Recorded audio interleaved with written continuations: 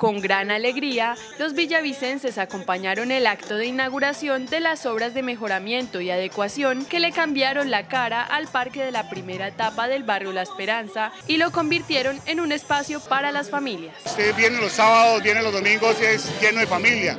Eh, eh, no es un parque común y corriente, es un parque donde la familia viene a divertirse, viene a compartir, viene a jugar, viene a cuidar los niños. Hoy este escenario, en el que se invirtieron unos 1.868 millones de pesos, cuenta con un moderno polideportivo multifuncional, juegos biosaludables e infantiles, cancha de voliplaya y zonas verdes y amplios senderos peatonales para el disfrute de la ciudadanía. Ya se habían hecho planteamientos a otras administraciones anteriores, pero ninguno siempre nos respondían que no había presupuesto.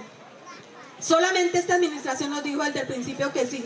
Y es gracias a una voluntad de un gobierno como el del doctor Wilmar Orlando Barbosa. La inauguración que se cumplió en plena celebración del aniversario 179 de Villavicencio estuvo acompañada por presentaciones musicales, pirotecnia, torneos de voliplaya y voleibol piso y por supuesto con la masiva asistencia de las familias.